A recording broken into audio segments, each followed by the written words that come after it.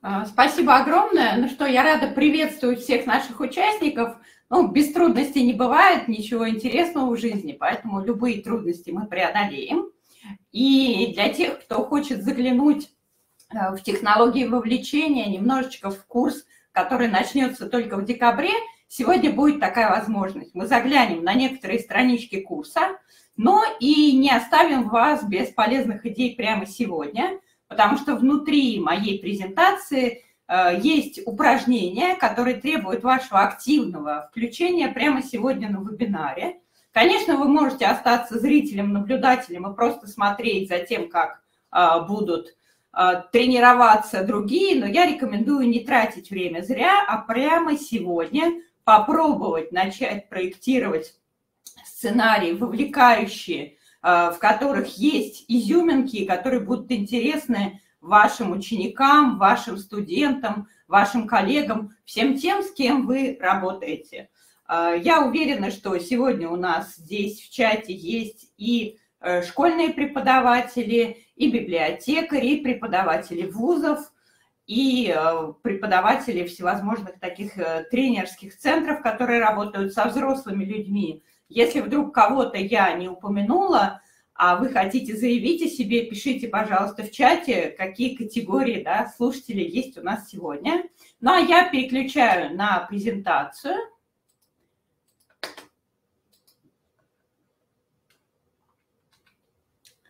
И вот в таком режиме я сегодня буду э, видеть э, свою презентацию. Не всегда буду видеть чат, но есть Татьяна, Татьяна мне будет помогать. А, я назвала сегодняшнюю нашу встречу «Впечатляющие курсы, вовлекающие занятия. В чем секрет успеха?» И постараюсь э, поделиться с вами теми секретами, которые используем мы при проектировании разных наших мероприятий.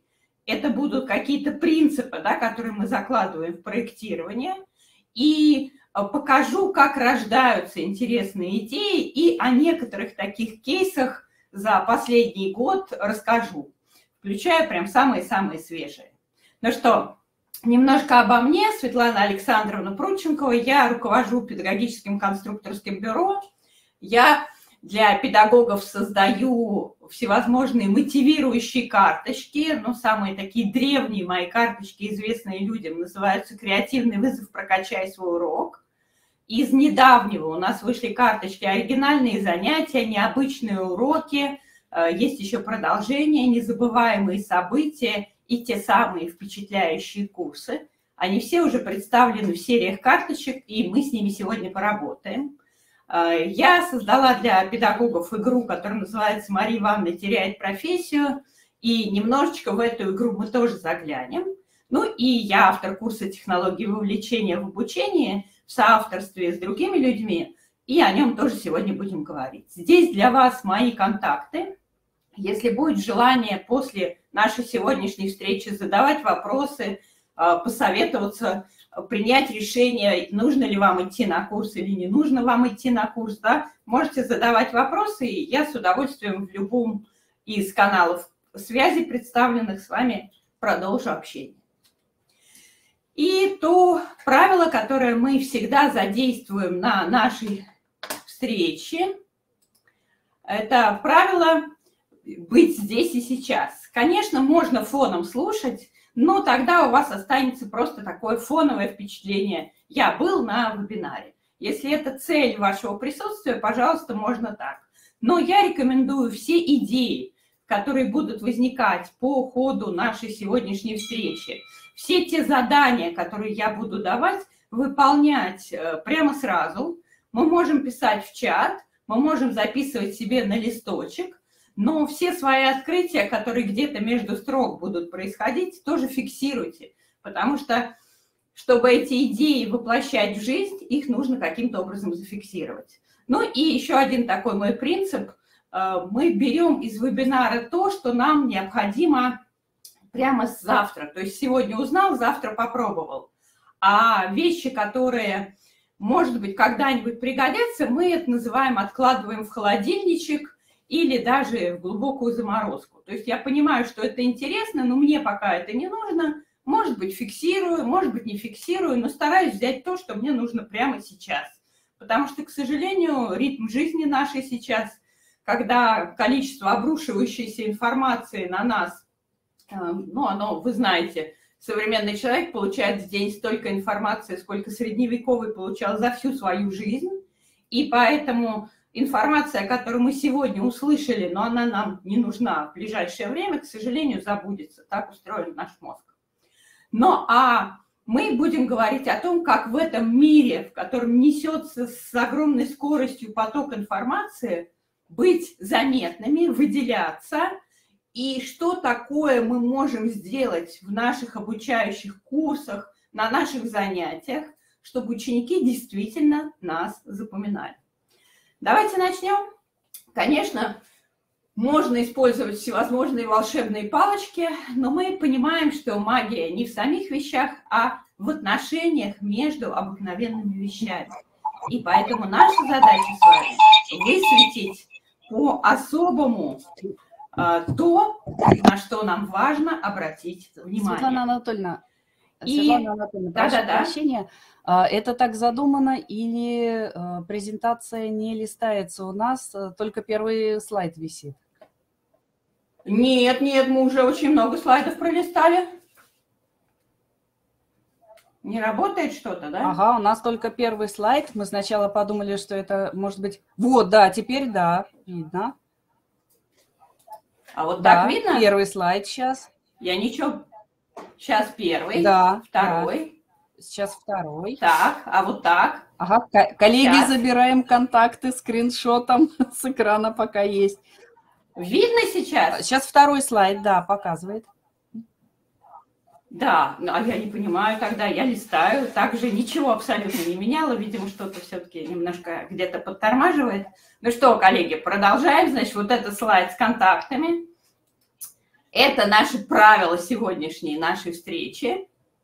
Вот видно, надеюсь, вот сейчас опять если что-то не видно, нету. говорите, ладно, Татьяна? Нету ага. опять? А вот так? М-м. Нету? Нет. Может быть, может быть, притормаживает просто демонстрация экрана. Может быть, попробовать слайд-шоу? Давайте попробуем. Да, вот теперь правила появились. А, вот э, вы в этом, в... Да, вот здесь в структуре просто слайды попробуйте переключать мышкой. То есть просто не, не а, двигать в режим показа. Да, да, понимаю? да. Вот следующий слайд. Попробуйте немножко в режиме редактора. Ну что, вот тут правила. И вот у нас да, да вот так работает. Ага, все, все нормально идет.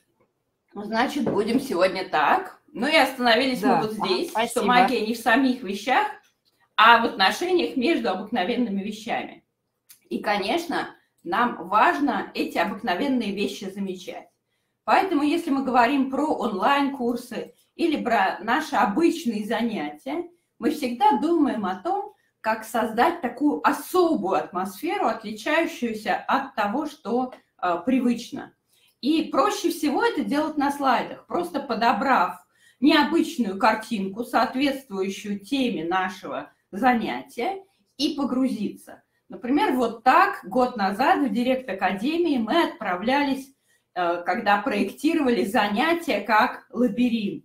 И наша задача была добраться до того самого замка, который мы видим где-то в горах, преодолев тот самый лабиринт, который на этом слайде мы видим. И вот такого рода шаги, они всегда добавляют вот тех самых первых впечатлений, о которых мы сегодня много будем с вами говорить. И снова магия. Магия не более чем искусство сознательно использовать невидимые средства, дабы произвести реальные эффекты. Сомерсет Моем, да, цитата здесь такая, но нам магия нужна с вами не только для эффектов, но для вовлечения. И здесь э, страничка про вовлечение. Конечно, об этом весь наш курс, все встречи, которые будут в рамках курса, мы будем говорить об этом. Но в двух словах сегодня. Если говорить коротко, то вовлечение – это создание условий для появления такой стойкой мотивации. И у вовлечения, как у условий, есть, конечно, и процесс, вовлеченность, когда наши участники готовы тратить время на встречи с нами, готовы выполнять наши домашние задания, именно потому что они вовлечены. И вовлечены на всех уровнях. Мы не заставляем участников выполнять какие-то задания, а они хотят это делать сами. Ну а вот кого вовлекать, как вовлекать, куда вовлекать и зачем вовлекать, об этом а, будем подробно говорить на курсе. И часто мудрецы выдают за магические самые обычные книги, полные доброй науки, чтобы уберечь их от нескромного любопытства. И такие книги тоже есть в нашей библиотеке книги, которые стали настольными во многом. Одна книга, я надеюсь, вам знакома, книга Дэйва Бёрджеса, которая называется «Обучение как приключение». Если вдруг вы с этой книгой еще не знакомы, очень рекомендую, потому что именно в этой книге есть те крючки, те приемы, которые, добавив даже в единичном случае в наше занятие, мы уже получим определенный эффект вовлечения. Мы их тоже включаем в наши занятия, и в карточках, которые называются «Креативный вызов», очень многие крючки именно из Дэйва, из Дэйва Бёрджеса. Но э, не только крючки и приемы, но нужна и некая такая философия, на которую мы опираемся. И я бы сказала, у нас два любимых направления при проектировании вовлекающих сценариев. Одно то, что принято называть а, проектирования образовательного опыта. И второе, что добавили мы не так давно, ну как осознанно добавили не так давно, это было во, во всех наших сценариях, но проектировать впечатление сознательно мы начали года два, наверное, назад. То есть мы стали это подчеркивать в наших программах, что мы сознательно проектируем впечатление. И для меня впечатление и фабрика впечатлений, а, на которую мы часто отправляемся с участниками, отправимся с участниками курса обязательно. Фабрика впечатлений связана вот с такими сладкими леденцами, откуда-то из детства. Я понимаю, что образ этот может быть у каждого свой, но что бы мы не творили, для того, чтобы впечатления получились, они должны опираться на какую-то серьезную основу. Мы не можем просто, ну нет, мы можем, конечно, просто создать праздник, но мы немножечко другим с вами занимаемся. Наша основная задача все-таки обучающая. Поэтому, конечно, для того, чтобы создать вовлекающий сценарий, нам всегда нужно определиться с темой. Мы не можем без конкретной темы, без конкретных целей, без конкретных задач проектировать что-то интересное. И здесь буквально несколько приемов из нашего курса, а, для тех, кто готов прямо на лету их ловить, ловите. Мы обычно используем при формулировке тем вот такой генератор ассоциаций по QR-коду или по ссылке, а, которая у нас в конце презентации есть, его можно найти. И в этот генератор мы запускаем любое слово. Сегодня я вам покажу, как рождалась самая последняя наша программа.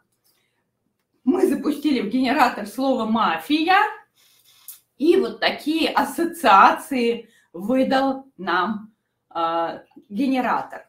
И, конечно, на нашей программе, которая называлась «Педагогическая мафия», сегодня несколько примеров из нее будет, были у нас и кланы, были у нас и карты, ну а в целом программа была про игры, про настольные игры.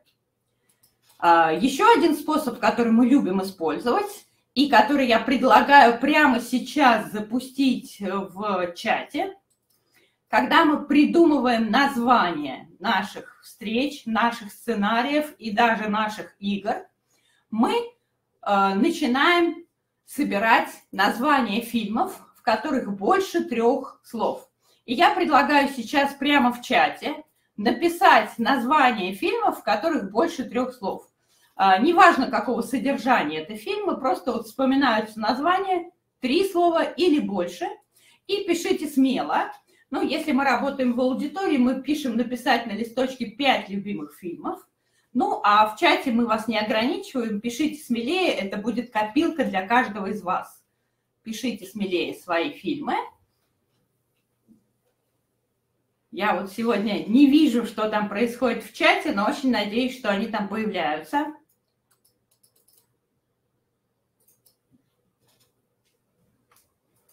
Итак, пять фильмов, в названиях которых больше, чем три слова. Такое условие для того, чтобы получилось интереснее. И у нас там фильмы нашего вебинара прямо собираются в чате. Уверена, что какое-то количество там уже есть. Но если вдруг совсем сложно, вот здесь у меня есть несколько вариантов, которые тоже можно использовать. «Однажды в Америке», «Алиса в стране чудес», «Первому игроку приготовиться». Они тоже пополняют нашу копилку. И что мы делаем дальше? Придумывая интересную тему, чтобы сама тема занятия уже вызывала интерес, и нам хотелось заглянуть на это занятие или прийти на это занятие, если оно очное. Нам захотелось записаться на такой курс, да, и вот все эти варианты решений. Что мы делаем? Вот название перед вами, и мы начинаем ключевое слово нашей темы или одно из слов нашей темы вставлять в, эту, в это название. Ну вот здесь я показала, как рождалось название нашей игры. Иван Васильевич меняет профессию, как вы понимаете, мы заменили на Мария Ивановна меняет профессию, ну а потом меняет, превратилась в теряет во время пандемии, это было гораздо актуальнее. И так родилось название «Мария Ивановна теряет профессию». А, попробуйте переделать любой из фильмов, которые вы видите в чате, в название для вашего занятия. И если все получилось, прямо напишите, что получилось у вас – Пусть эти эмоции и эта энергия, которая рождается от таких названий, вдохновляет и вас, и коллег, которые вокруг нас. Пишите, пожалуйста, в чате, я обязательно потом прочитаю весь чат. К сожалению, сегодня вот технические сбои не позволяют нам двигаться. Итак, вот примерно так три шага у меня, но чаще всего хватает двух. Мария Ивановна меняет профессию, вполне бы название меня тоже устроило, если бы это было чуть раньше. Ну и вот что у моих ребят получилось. Алиса в библиотеке, э, спрячь робота в холодильник и первому химику приготовиться. Вот такие варианты названий предлагают ребята. Э, Татьяна, если есть там что-то в чате интересное, хотя бы там одно-два названия, если можно вслух. Если что-то написали, коллеги. Ой, здесь много интересного прошу прощения, сейчас я со звуком разберусь. А, здесь много э, ага. интересного. Во-первых, у меня у самой было место встречи «Изменить нельзя», получилось место библиографической ссылки «Изменить нельзя». А, Отлично, ну, вот, ваше название. У нас было «Москва слезам не верит», «Три орешка для Чайковского», а если это дидактика? Видимо, если это любовь была, да? Три приема для преподавателя, Барбос в гостях у Бубика, а, ну, это, наверное, к первому варианту. А, вечные метания уставшего разума. А, так, коллеги, давайте еще, пока я здесь в эфире. Спасибо. Но на самом деле даже вот этих названий, а, да, которые сейчас прозвучали, а, достаточно, чтобы почувствовать вот эту энергетику этих названий. Такие названия всегда заряжают на успех. А, как они работают? С одной стороны, есть эффект узнавания, что-то знакомое в этих названиях. Мы их где-то когда-то слышали или видели на афише. Кстати, можно использовать также и названия книг, ну, из классики, да, которые все знают. О, э, Светлана а Анатольевна, стороны, где... прошу прощения, ага. интересная у нас еще появилась неоконченная, неоконченная пьеса для продаж. Интригует. Супер. Интригует. Да, супер. То есть, с одной стороны, узнаваемость, а с другой стороны, эффект новизны, что-то новенькое. И вот этот триггер срабатывает. Нам хочется посмотреть, а почему это вдруг знакомое стало не совсем, не совсем знакомым, извините. А, есть еще версия. А, ребята, когда мы им дали такое же задание, выдали нам вот такие афиши. То То есть они решили не идти только за словами, они переделали название, ну и добавили к ним афиши, причем используя реальные афиши от этих фильмов. Но видите, и там, и там добавился у нас пластиковый мусор. И вот такие визуальные картинки мы тоже можем делать. Я до конца не знаю насчет авторских прав, да, вот здесь нужно проконсультироваться с юристом, когда мы используем реальные изображения. Но если мы это делаем для себя, для подзарядки вот именно креативной, то, конечно, такие разминки дают вдохновение и название, которое мы придумали сами, нам всегда хочется воплощать. Но это был первый шаг. Мы, конечно, в курсе будем тренироваться, но темы и названия мало для того, чтобы создать вовлекающий сценарий, хотя, безусловно, цепляющее название – это одна из составляющих успеха. Помните в нашем названии сегодня «В чем секрет успеха»? Записывайте. Один из секретов – это вкусное, необычное название. Конечно, цель. И с целью мы всегда предпочитаем Э, не мудрить, а использовать созданный инструмент, который называется конструктор цели обучения. Если вы вдруг с ним не знакомы, то тоже у вас есть QR-код или запишите название «Конструктор цели обучения». И это ну, конструктор, в котором вы, пройдя по всем э, уровням, вы видите здесь у меня в серединке такая полосочка, уровни целей, содержание, ресурсы, результат группы. Каждый раз вы в подборке, вот в данном случае на странице у меня глаголы, выбираете глаголы или те ресурсы, которые вам нужны, или как вы хотите, чтобы выглядел результат.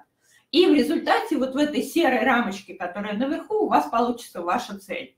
У меня получилось, студенты смогут сравнить несколько точек зрения на проблему. Проблему надо добавить. Используя библиотеку, представить результат в виде таблицы, работая в группе подвода. То есть этот конструктор позволяет нам сфокусироваться на том, что же мы на самом деле хотим, и расставить некие приоритеты.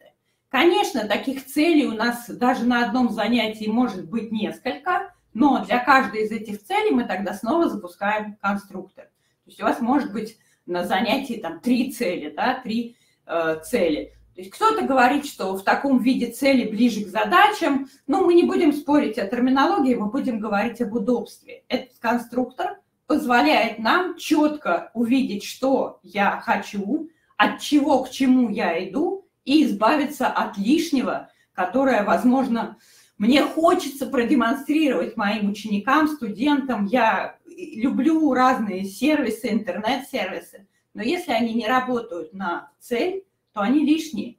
Их нужно убирать. Ну и третий важный шаг, прежде чем мы перейдем к проектированию впечатлений, это определение целевой аудитории.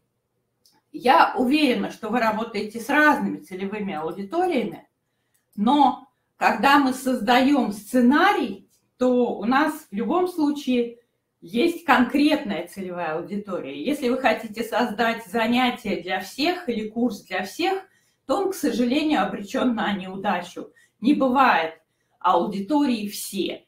Э, всегда есть какие-то особенности у каждой нашей аудитории. Да, есть аудитория, которая просто все, кто придут к нам на занятия, потому что они наши студенты, например. Но среди этих студентов все равно есть конкретные представители. Да, они разные. Но нам важно думать о том, что они унесут с собой с нашего занятия. Ну вот у Марии Ивановны вот такие разные ученики. И принцип, который мы с Марией Ивановной используем, проектируя сценарии, это минута славы для каждого из учеников на уроке или одно занятие в течение учебного года для одного ученика.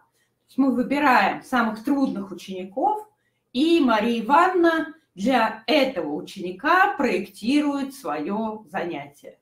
Потом выбирает следующего, и вот так, проектируя под потребности, под страхи, под какие-то особенности конкретных учеников занятия, мы получаем живые занятия, которые точно удовлетворяют потребности хотя бы одного нашего ученика. Ну, а, как правило, эти потребности есть и у других учеников, просто у кого-то они особенно ярко выражены. И мы приступаем непосредственно к проектированию занятий.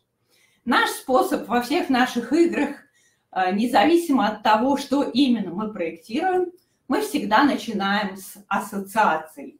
Сила ассоциации, так же как и сила афиши, да, которую мы только что запускали, она наполняет нас энергией, дает нам те силы, которые позволяют э, креативить и придумывать интересные идеи.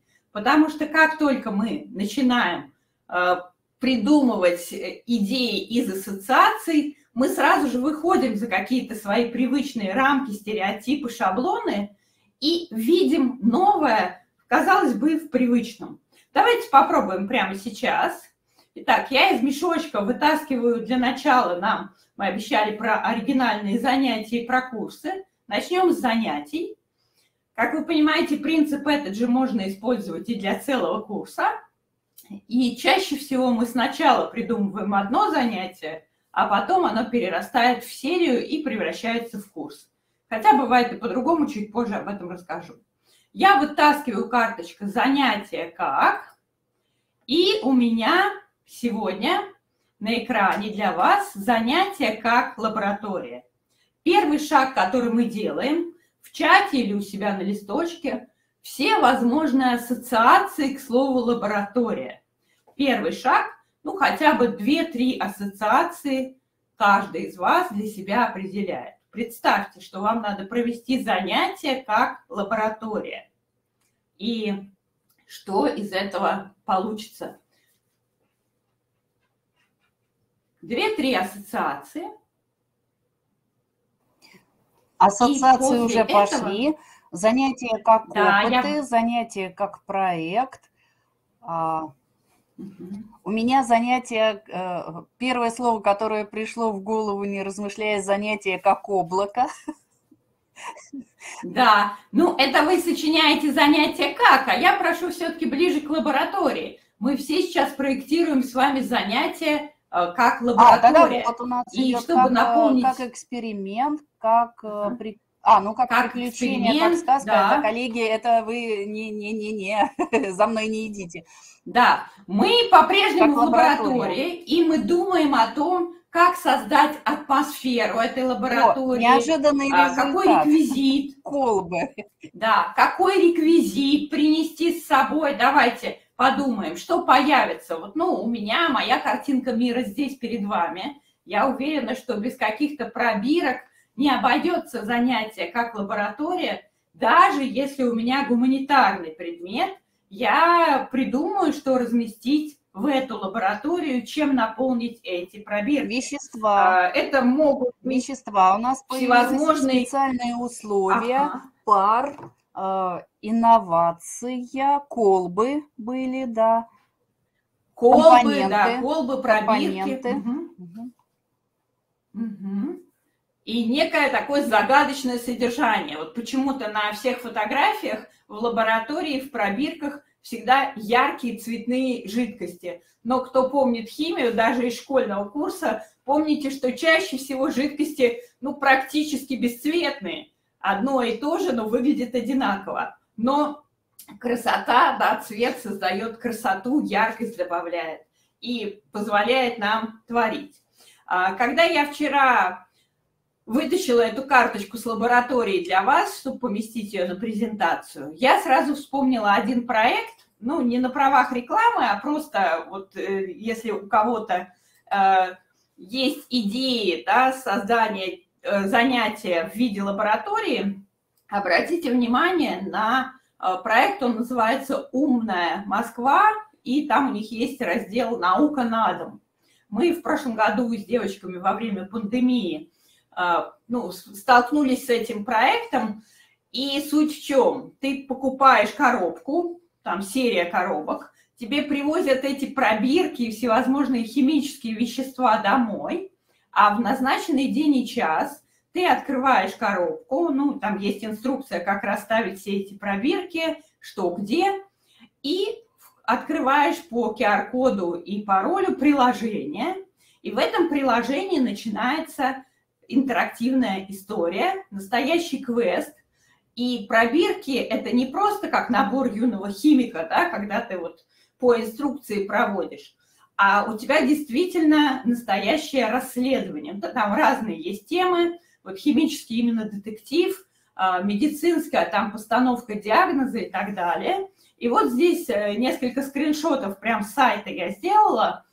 Вот у нас действующие лица, здесь есть и великие ученые, и какие-то там исследователи, и хранители определенных тайн, ну, в зависимости от квеста, где-то у нас есть там пациент, где-то у нас есть преступник, где-то у нас есть кто-то еще.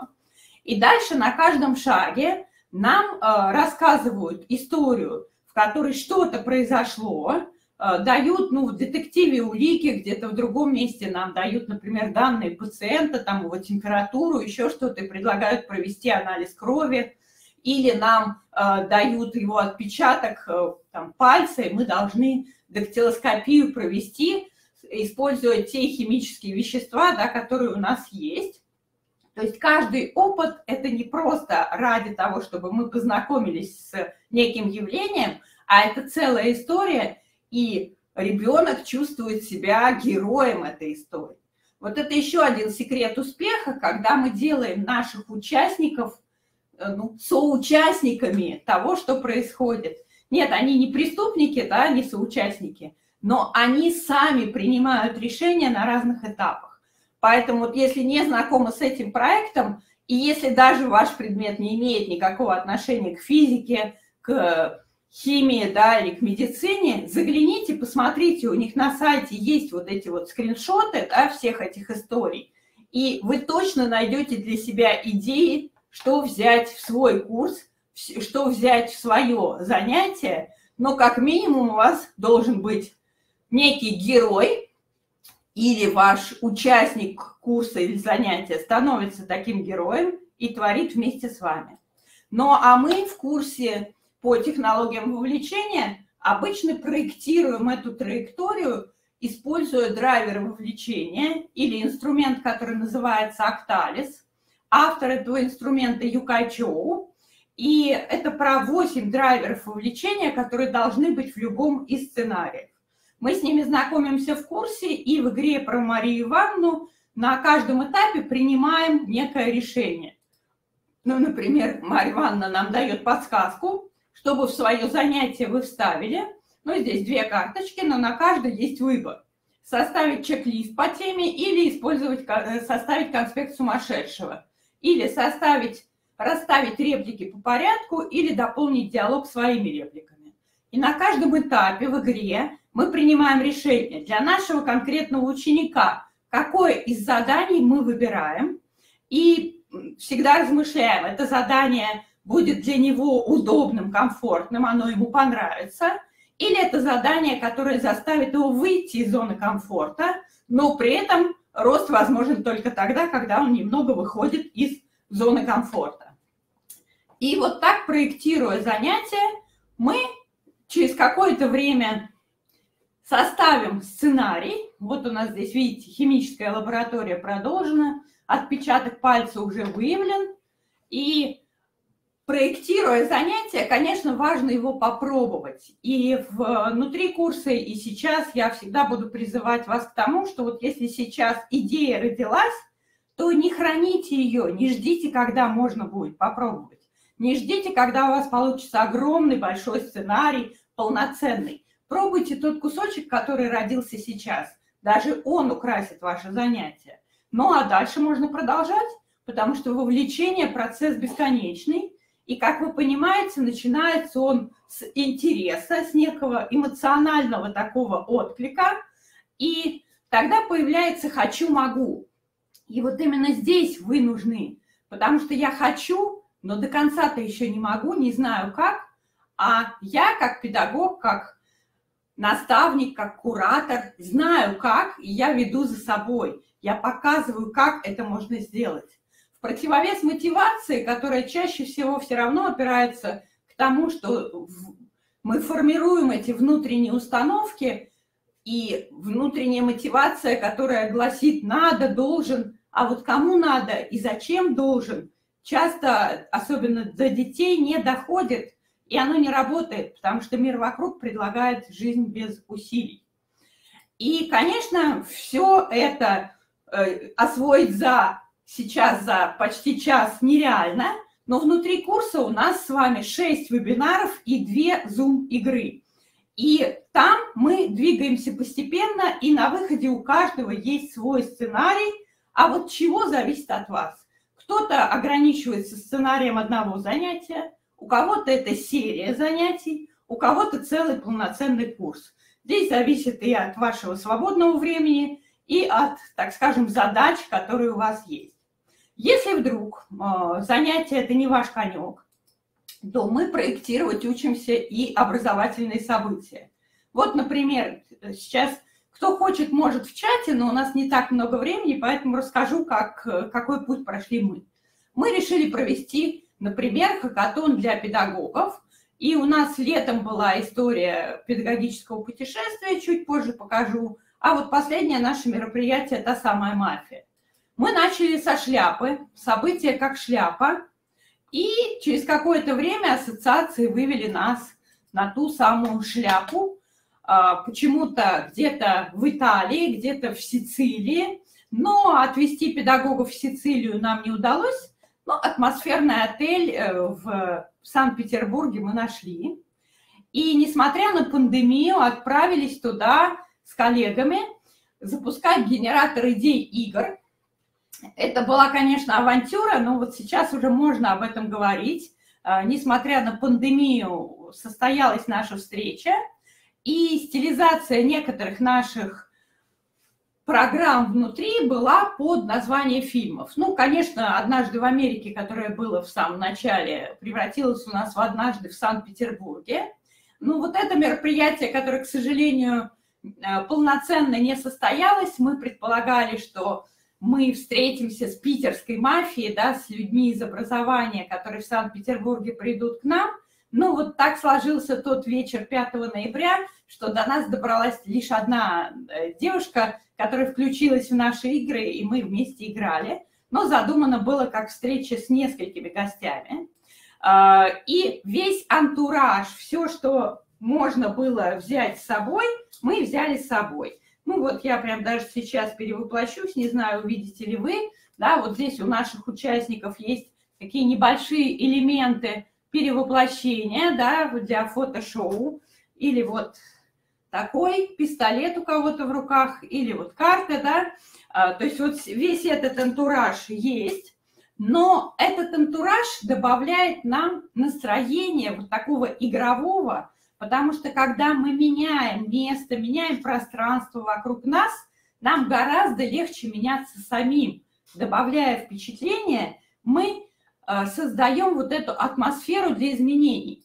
И несмотря на все трудности, за три дня, здесь даже октября у меня, а не ноября, оказывается, э, у нас все участники, которые были на этой встрече, создали свои игры. А, карты «Деньги. Два ствола» так назывался мастер-класс, на котором мы разбирали разные карточки. Ну и каждый участник получил свой большой куш. Это коробочка разработчика игры, в которой есть вдохновляющие мелочи, позволяющие а, каждый раз видеть что-то новое для своего сценария. Ну и так называемый часовой механизм мы запечатали а, письма, и эти письма можно будет скрыть только после того, как получишь реальный отзыв от создания своей игры. Конечно, за три дня идеи родились, но дальше э, участники продолжат в онлайн-мастерской «Вкус игры» работать над своими сценариями. Ну, а я расскажу на примере «Мафии», э, причем здесь э, дизайн впечатлений и как он здесь работает. Конечно, для того, чтобы полноценно Э, наш сценарий сработал, нам нужны самые важные элементы впечатления. И о них мы тоже будем говорить в курсе по технологиям вовлечения.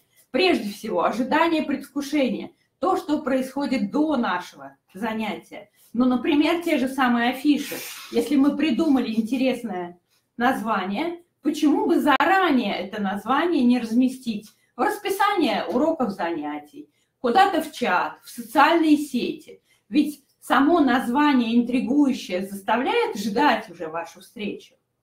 Конечно, э, впечатление мы проектируем и во время участия. Мы, например, очень любим э, выгуливать наши сценарии. Э, мы в Карелии выгуливали сценарии в поход на гору, на Рысью гору. В Санкт-Петербурге мы, конечно, выгуливали сценарии по Санкт-Петербургу и искали в названиях улиц, в афишах а, в тех вещах, которые мы встречали вокруг, идеи для своих игр. Ну и самое важное, что мы закладываем тоже в проектирование сценария, это то самое послевкусие. А что участники увезут с собой, чтобы это не было разовым таким мероприятием, а чтобы хотелось возвращаться к этим воспоминаниям, и воспоминания были насыщены не только «было здорово», а чтобы было что-то еще внутри. И вот здесь четыре карты из игры, которая так и называется «Фабрика впечатлений», в которой те четыре закона, по которым они формируются, есть. В любом впечатлении у нас есть элемент развлечения, ну, я совсем коротко, да, элемент обучения, есть какой-то формат ухода от реальности. Ну, вот у нас э, наша мафия или наше педагогическое путешествие – это тоже формат ухода от реальности – мы как будто бы играем в это, несмотря на то, что мы занимаемся тем, что нужно нам, но антураж, атмосфера добавляют нам, или атмосфера лаборатории добавляют нам тех самых впечатлений. Ну и, конечно, элемент эстетики. Должно быть то необычное и то красивое, что хочется запомнить. А, как это было? Вот Карелия, например. Вот так выглядела наше обещание, наша реклама. Мы нашли э, в интернете тот самый ретро-поезд под названием «Рускеальский экспресс» и поняли, что мы хотим на нем прокатиться, увидев просто эти фотографии. И прокатиться не куда-либо, а в Рускеалу, это такие мраморные каньоны, но не остановиться на этом, а продолжить наше педагогическое путешествие – мы выбрали отель, который стоит на берегу метеоритного озера. И вот сразу э, возможность прикоснуться к мете... искупаться в метеоритном озере, э, которому 700 миллионов лет, я все время путаю, такие, 600, 700, или 600-700 миллионов лет, да, там приземлился метеорит, и, соответственно, образовалось это озеро. Для меня это совершенно невероятные какие-то даты, и поэтому я всегда их путаю. И мы собрались туда с коллегами, отправились в педагогическое путешествие. И это тот случай, когда наше проектирование и наши ожидания внутри э, совпали. Я бы сказала, что в реальности получилось даже лучше, чем на картинках. Ну вот здесь наши участники, как раз тот самый поход на Рысью гору, когда мы выгуливали наш сценарий вместе чтобы отвлечься от бумаг, от придумывания, отправились туда. Э, мы вместе готовили калитки и думали, как рецепт приготовления блюда может помочь нам в проектировании нашего сценария. Ну, конечно, были все наши игры, которые позволяют проектировать сценарий. И вот здесь как раз на фотографии э, наш мультимедийный бариста, который будет в нашем курсе. Здесь есть инструмент структуратор, который тоже мы любим использовать для презентации. И красивая наша игра «Эффект красной розы», о ней чуть позже еще скажем. Ну и у нас были всевозможные мастер-классы, в том числе вот здесь э, участники запечатывают тем самым сургучом и печатью послание себе, ну кто-то себе, а кто-то своим ученикам делал такие секреты. Все э, виды впечатлений мы старались задействовать. И я вам пока только покажу вот эту пирамиду а, с разными типами впечатлений. В курсе мы, конечно, об этом говорим поподробнее. Если хотите сами погрузиться в эту типологию впечатлений, то рекомендую вам книгу, которая так и называется «Дизайн впечатлений». И чаще всего а, мы при проектировании останавливаемся на третьем уровне. Ну, понятно, что обыденные впечатления, то, что срабатывает на автопилоте, особо проектировать и не нужно. Осознанные впечатления, когда какие-то усилия нам нужны, чтобы это запомнить, мы уже можем проектировать. Запоминающиеся проект, э, впечатления те, которые связаны с эмоциями, мы, как правило, и проектируем, но на эмоциях мы не можем останавливаться. Нам нужно делать так, чтобы эмоции превращали эти впечатления в значимые, чтобы человек запоминал это не просто потому, что мы красиво в небо отпустили шарики, а чтобы с, этим, с этими шариками был связан какой-то смысл. И вот здесь, конечно, уже более такие сложные варианты, как эти впечатления сделать. Потому что на каждом следующем уровне, э, ну, как, как по закону горы, да, чем выше поднимаемся, тем э, сильнее можно упасть, да, и поэтому здесь от проектировщика зависит и успех, и неудача в случае, если что-то пойдет не так. Важно соблюдать определенные условия. Ну и вершины, те самые преобразующие впечатления, когда после участия э, на вашем занятии или в вашем курсе люди говорят, что я по-другому стал что-то конкретное делать. Вот э, очень часто после игр нам участники говорят, что теперь я именно так буду проектировать свои занятия. Но, конечно, одного раза мало для того, чтобы приобрести именно преобразующие впечатления. Но для любителей пирамид можно сравнить ту пирамиду с пирамидой потребностей Маслоу, которая вам известна, и найти какие-то точки соприкосновения. Это тема отдельного исследования, не буду сейчас здесь зависать. Ну, а нам важно всегда помнить, что эта магия, она есть внутри каждого из нас, и запустить эту магию э, иногда бывает очень-очень просто. Резюмируя, повторю. Например, мы используем всегда силу ассоциаций.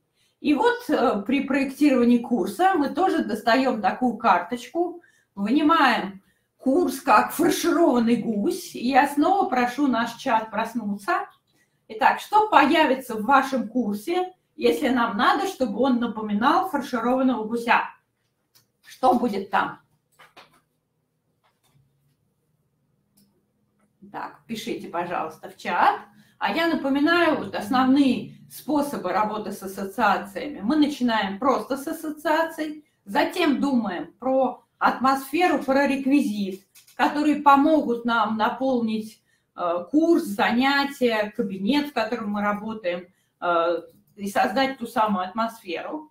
Затем мы чаще всего думаем, а как упаковать задания, чтобы они чем-то напоминали вот эту нашу концепцию или метафору курса, как вам удобно. И слышу, что уже там, да, что-то начали писать. И после этого как раз проектируем то, что должно быть до предвкушения – и то, что должно быть после, после вкусия. Ну что, там чат оживился? Да, потихонечку оживаем. А, появилось да. у нас вот что. У нас появились яблоки, у нас появились приправы, у нас появилось интересное содержание. Может быть, интрига, чем же начинен гусь. А, аппетитный запах, раз, э, ну, разнообразие методов и приемов, это я не знаю, наверное, к чему-то другому было. Нет, почему? Это как раз ощущение фарша, да? Ага. Фарш – это вот то самое разнообразие, а выбирай сам. Ага.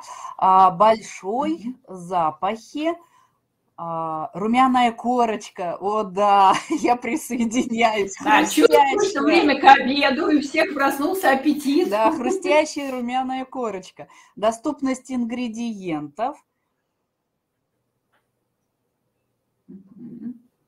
Ну что, спасибо огромное а всем, кто нас поддерживает в чате. Уверена, что да, вот даже такое буквально двухминутная разминка уже какие-то идеи подарила, которые можно использовать. Возможно, вы не будете а, так экстремально создавать прям весь курс, как фаршированного гуся, не будете так преподносить его вашим ученикам, но что-то из фаршированного гуся точно может попасть а, на ваши занятия или на стол к вашим ученикам да, в курсе. И здесь тоже, конечно, можно разные-разные э, форматы использовать. Ну, а я еще несколькими кейсами поделюсь, прежде чем отвечать на ваши вопросы и возвращаться к вам. А, еще один кейс, это мы участвовали летом в проектировании конкурса игры рыбаков фонда, и проектирование было построено в стиле боха. Видите, все участники сидят на таком мягком э, ковре, на подушечках, на всевозможных шкурах, и вместо столов такие вот э, ящики, которые обычно используются э, для погрузки чего-либо. Вот в такой атмосфере участники придумывали игру, которая сейчас проходит, это серия марафонов для школ, э, для школьных коллективов, да, для школьных сообществ. И вот это еще одно доказательство того, что если мы хотим придумать что-то креативное, прежде всего нам нужно изменить атмосферу, в которой это творчество происходит. Потому что э, школьные парты или там привычные лекционные залы или привычные строгие презентации в ваших курсах, они всегда настраивают на определенный лад. Увидев э, ну, стандартный слайд, где все правильно, где нет никаких, э, так скажем, а, ошибок или чего-то привлекающего внимание на слайде, а, наш мозг настраивается на то, что будет такое стандартное занятие, где я должен слушать, преподаватель будет вещать, а, я буду отвечать на вопросы, да, то есть некие правила игры задаются самим стилем подачи информации.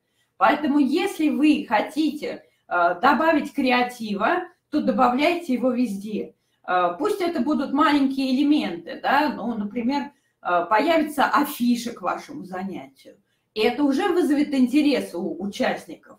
Ну, а дальше вы сами понимаете, если вызвали интерес, надо его оправдать. Значит, и внутри что-то такое должно необычное появиться. Пусть это не будут все полтора часа необычного занятия, но хотя бы чуть-чуть, хотя бы где-то. И э, проектируя любые сценарии, Э, мы не превращаем все вокруг нас в игру. Это ну, не наша задача. Мы добавляем элементы игры, элементы вот такого путешествия да, некого э, в то, что делаем мы. Еще один кейс позволю себе рассказать. Это прошлый год, прошлое лето, лето 2020, э, ну, позапрошлое уже получается – и э, участники, с которыми мы работали, традиционно летом получали награду. Мы э, разрешали, ну как бы отбирали самых лучших и отправлялись с ними в реальное путешествие, э, либо там на море, либо на Байкал, либо на озеро Тургаяк, либо в Хакасию, ну, в какое-то такое место, где сама атмосфера заставляет творить и добавляет тех самых впечатлений.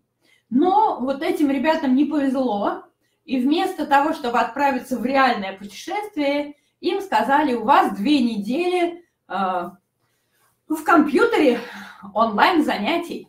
И понимаете, да, ощущение ребенка, который планировал поехать куда-то в интересное место, а ему говорят, будешь вместо этого летом сидеть у компьютера. Ну и задача для нас, как для проектировщиков, тоже была непростая, потому что нам нужно создать такую атмосферу, чтобы ребятам летом не хотелось бежать постоянно с друзьями на прогулке, а хотелось выполнять наши задания. Ну и мы придумали онлайн-регату. А, мы назвали ее «Регата паруса». И в течение двух недель ребята путешествовали в разные места. Каждый день они оказывались в каком-то необычном месте. Вот это один из дней. А, яхта готова к старту около острова лабиринтов, например. Ну, вы поняли, что лабиринты – одна из любимых наших тем. И каждый день э, ребята получали определенные задания. Но чтобы вот сохранялась такая динамика, э, мы выстроили эту регату в таких двух режимах. Один день режим назывался у нас «Берег», ну, если кто-то знает реальную регату, то корабли прибывают к берегу и некий отдых, запас прочности, запас сил да, пополняют ресурсы. И наши ребята тоже прибывали к берегу. Это был такой день э, встреч с интересными людьми в онлайн, э, день э, каких-то активностей, которые придумывали сами ребята, какие-то вечеринки клубные, да, были у нас квесты, путешествия там по городам, в которых ребята живут. Ну, такой достаточно легкий формат, не требующий постоянного включения и дающий возможность расслабиться. На следующий же день начиналась та самая гонка. А, здесь мы не вмешивались, у нас все задания были размещены на платформе, и участники получали задания и на команду, и индивидуальные по ролям, и должны были в течение определенного времени выполнить эти задания. Но задания размещались в формате шведский стол, это еще один формат, который мы любим, то есть есть заданий, например, 15, но обязательно команда должна выполнить сегодня три задания. Да, то есть выбрать из предложенных заданий те, которые интереснее всего выполнять команде. Но эффект был такой, что команды не выполняли минимальное количество заданий, а практически все яхты выполняли абсолютно все задания. Настолько вот азарт и желание соревноваться друг с другом и делиться успехами захватили всех участников, что вот э, фактически круглосуточно они спрашивали, а когда будут новые задания, а когда вы разместите следующие задания. Формат, для формата рефлексии во время яхты мы придумали э, формат, вариант э, дневник э, яхты, да, или бортовой журнал яхты, ну, то есть вот такие какие-то форматы. И каждая команда могла выбрать, от имени кого они ведут свой дневник. Ну, вот здесь у меня страничка из дневника, э, которую вел капитан яхты, такой бывалый мореплаватель, который вот писал о том, с какими трудностями сталкивалась их яхта. Причем трудности были из реальной жизни, команды работали над социальными проектами, но описано это языком именно таким морским.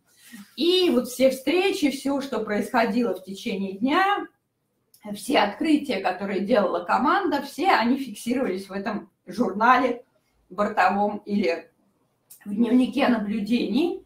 И здесь тоже был креатив. Ну, то есть первые 2-3 дня мы задавали некий формат, что там фиксировать, там три открытия дня, а, самые э, те сложности, с которыми вы столкнулись, э, те интересные находки, которые вам удалось найти в течение дня, да, вот, то есть подсказывали, что именно фиксировать.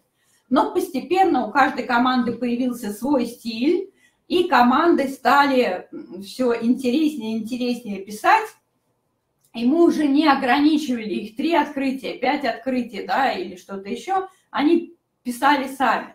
А, были варианты, когда этот дневник делали в виде видеоинтервью. Например, а, был вариант, когда под реальные фильмы ребята придумывали свою озвучку, связанную с тем, что происходило с ними.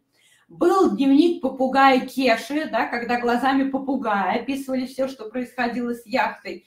То есть это вот отдельный такой креативный формат, который мы запускали изначально как просто рефлексия, которая необходима, потому что у нас было 17 яхт, и понятно, что такую детальную обратную связь каждому из ребят а, мы не могли дать, да, полноценную. А, что-то делала система, где-то система давала эту обратную связь, где-то яхты получали поддержку друг друга, ну а все, что происходило, мы узнавали из этого дневника, который внимательно изучали каждый день. Ну и э, всевозможные такие маленькие изюминки, маленькие фокусы, которые мы добавляли э, внутрь курса. Ну, во-первых, наши персонажи всегда были. Это такие же участники яхт, э, ну, онлайн-регаты, да, со своих яхт, которые внутри на слайдах появлялись и делились своими впечатлениями. Ну, например, корабль-призрак, и э, было задание, ну, такое фактически для ребят начальной школы, хотя у нас были ребята 15+, когда мы из баночки от йогурта э, замораживали лед, замораживали там эту зубочистку, делали свой парус и следили, у кого э, корабль медленнее растает. Да? И ребят просили снимать это на видео. И это тоже было настоящее шоу, да, получилось, что увлекательно и интересно было каждому из них. Или самое простое задание, когда мы попросили ребят сделать оригами кораблики, написать название своей яхты и пустить этот кораблик и попросить других участников сделать перепосты в социальных сетях, ну, чтобы такие корабли поплыли во все стороны.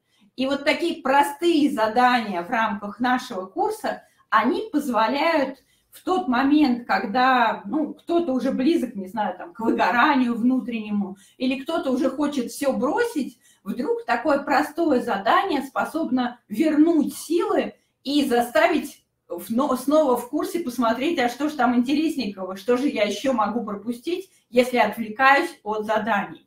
То есть вот такие простые задания, ну, у нас еще головоломки бывают регулярно, еще какие-то вещи. То есть такие простые вещи, которые удерживают внимание и добавляют тех самых впечатлений.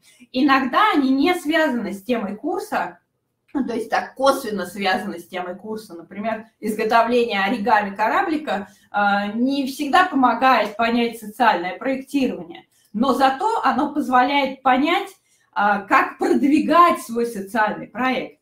Попросив, да, создав пост в социальных сетях и попросив участников поделиться этим постом, мы а, точно охваты этого поста увеличиваем. Да, поэтому такие косвенные связи, когда на первый взгляд кажется, что это не имеет никакого отношения э, к моему курсу, думайте, как эти выстроить связи. Ну и еще буквально несколько кейсов э, в рамках все той же онлайн-регаты. Какой-то момент, ну, мы передаем бразды правления ребятам, то есть вечерние программы – это их собственный выбор – у нас был и поэтический вечер, и бардовская вечеринка. А, в один из дней на корабли напали пираты, и все оказались на пиратском острове. Нужно было выбираться, выполняя задания с этого пиратского острова. Ну, а вот эту вечеринку ребята решили устроить сами. Вечеринку в гавайском стиле. И, соответственно, все костюмы выбрали, на Zoom-встречу пришли в костюмах, и соответствующая музыка добавляла вот настроение то есть такого рода а, встречи с выплеском энергии, они нужны в любом а, курсе, если он достаточно долгий, а, просто чтобы участники могли неформально общаться друг с другом. Думайте, это будет Zoom-вечеринка, это будет какая-то вечеринка живая, да, или в формате какого-то непринужденного общения, но это встреча, которую делают ваши участники сами, даже если это совсем маленькие дети. Еще идея. Э, Татьяна Шилина в прошлом году э, сделала подготовку к ЕГЭ со вкусом.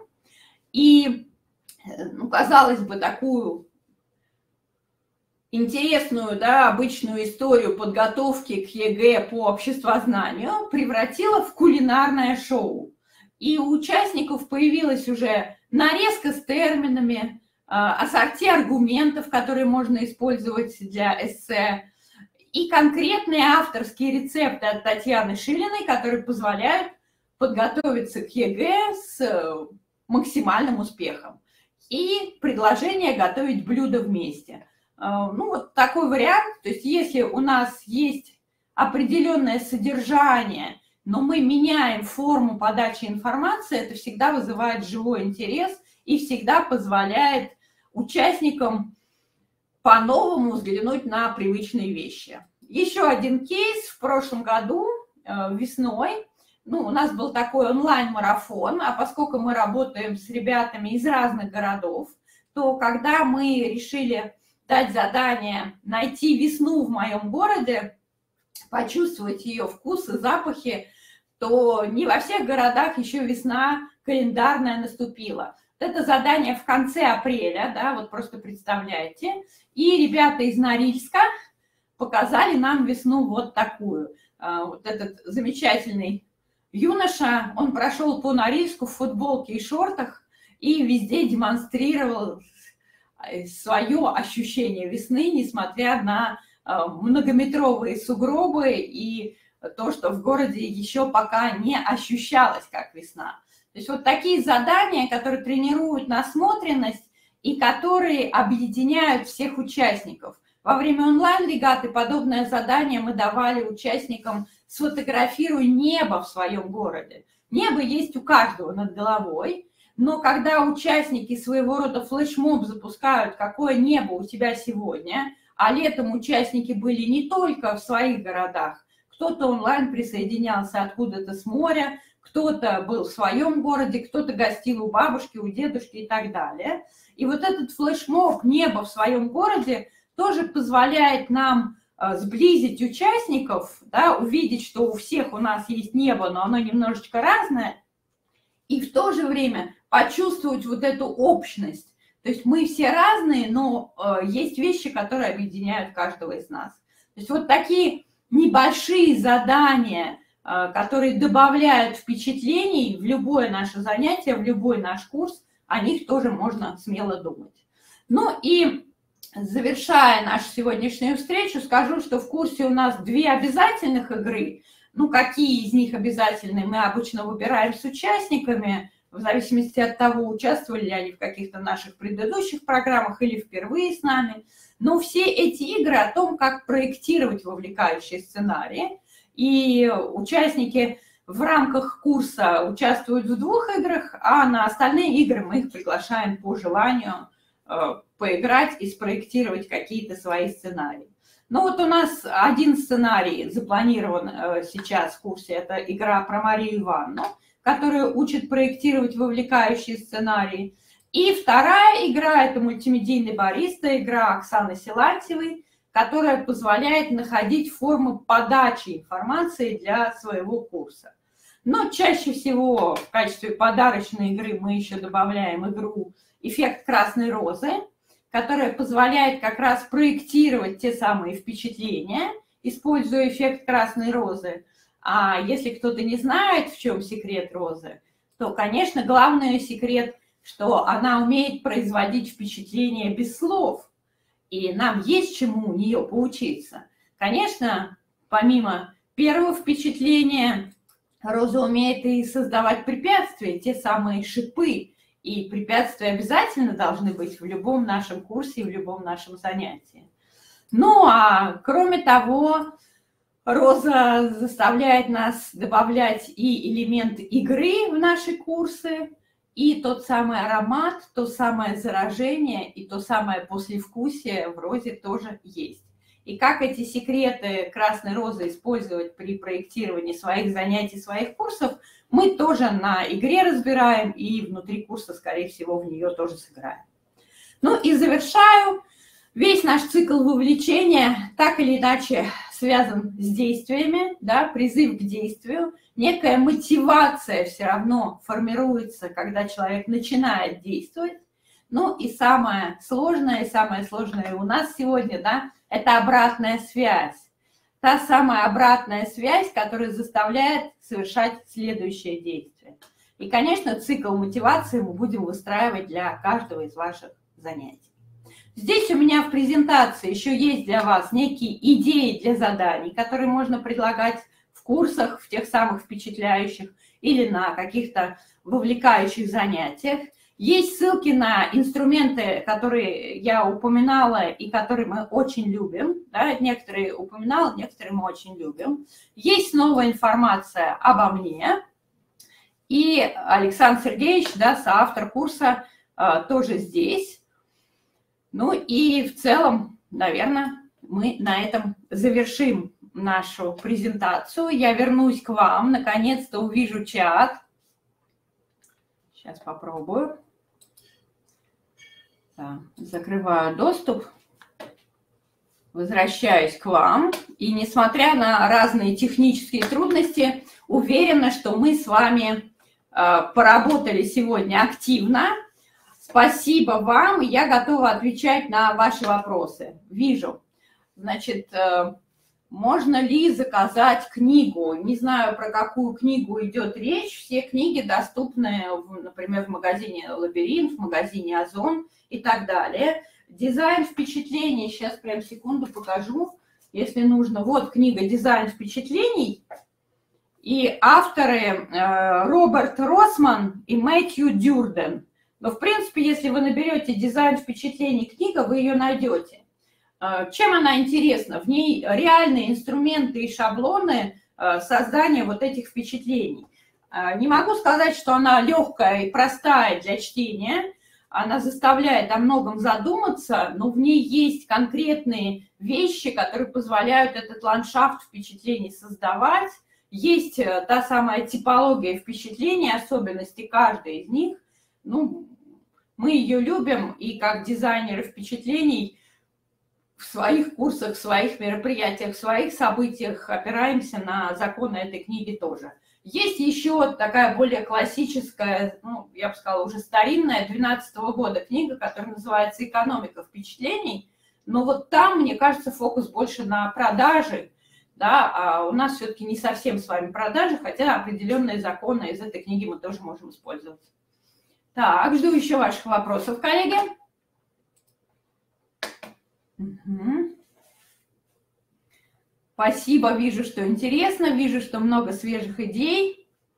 Угу. Вижу знакомые лица. Александр Александрович, рада вас приветствовать. И еще раз с днем рождения.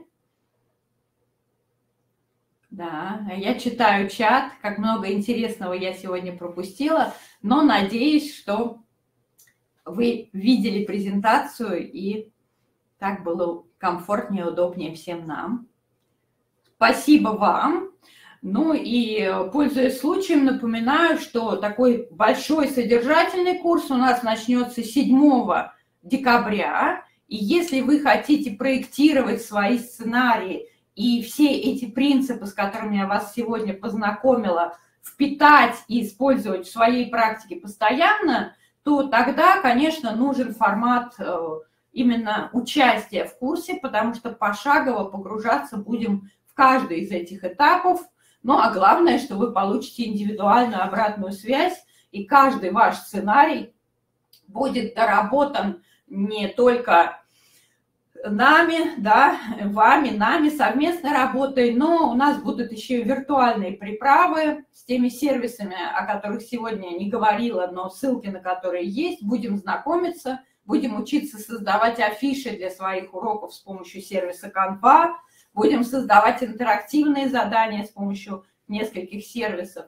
То есть это то, что добавит изюминок в ваши вовлекающие сценарии и в ваши курсы, независимо от того, онлайн они проходят или офлайн. Поэтому это тоже есть. Да, а дизайн впечатлений действительно мощный тренд не только в образовании, он э, и вокруг нас, да, все кругом пытаются нас сейчас впечатлять, удивлять, ну, прежде всего, это двигатель торговли, да, впечатление, но мы же понимаем, что если все вокруг наших учеников впечатляют, то мы на этом фоне выглядим ну, достаточно однообразно и э, не даем того, что от нас тоже ждут. Но здесь есть две разные стороны.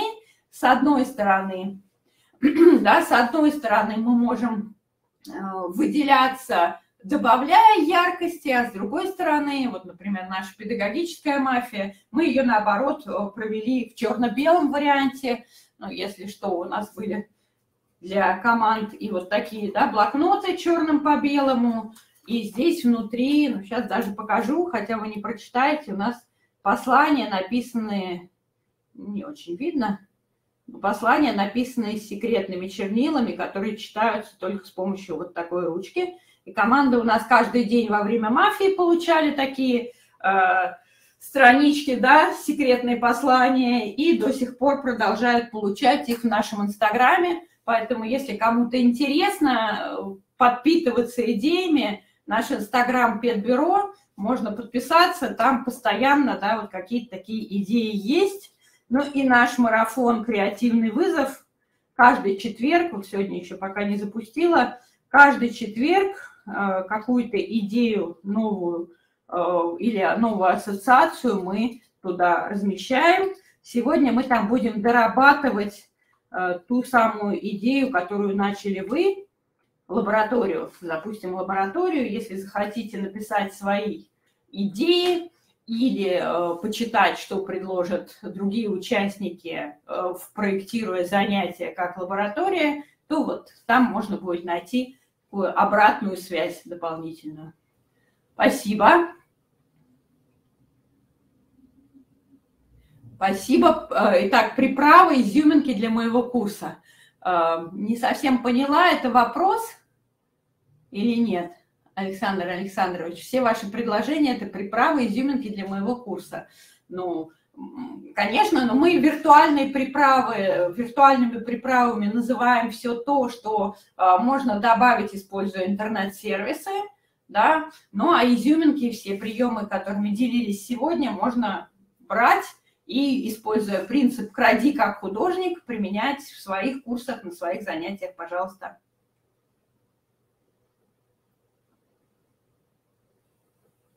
Ну, иметь курс, э, если нет курса, тогда нужно занятие, да, начинать занятие с мероприятия, с события, с того, что вы сейчас проектируете. Потому что, конечно, э, лучше проектировать то, что востребовано, то, что сейчас буквально там завтра, послезавтра вы будете проводить, потому что тогда все эти идеи можно достаточно быстро проверить на практике и увидеть, как это работает.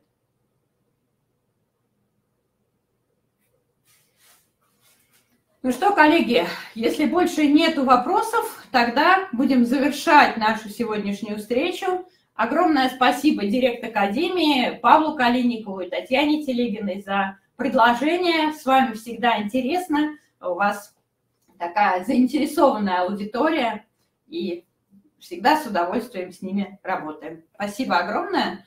Тогда выхожу из эфира, Татьяна, правильно понимаю?